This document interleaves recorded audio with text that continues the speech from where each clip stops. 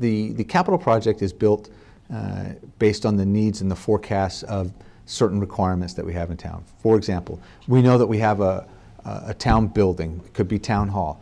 The roof on town hall has a service life to it, right?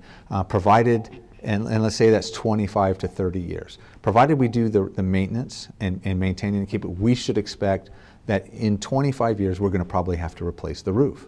Um, so taking into these calculations all of the different capital needs, which includes vehicles, right? A police vehicle has a certain life, a DPW plow truck has a certain life. We're programming when we'll have to replace those. That's the capital plan, making sure that we replace that equipment and the facilities that we need. It includes roads, bridges, sidewalks, uh, a number of different you know, infrastructure items as well.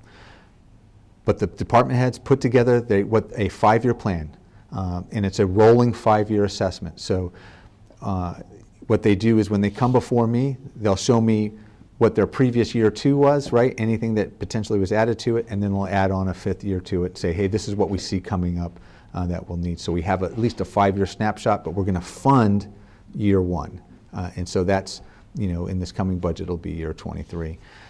They'll present that. We'll look at it, make an assessment. We'll look at our debt uh, service capacity. How much money can we afford? uh, to borrow and make payments on.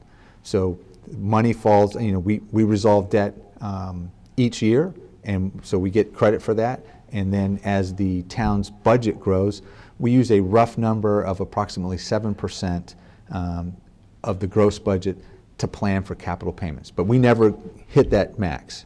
You know, that's, a, that's in place, but we kind of kept it, a, you know, a little, you know, five, four and a half percent uh, is where we've been targeting our debt service payment, just to keep that capacity in case we need something.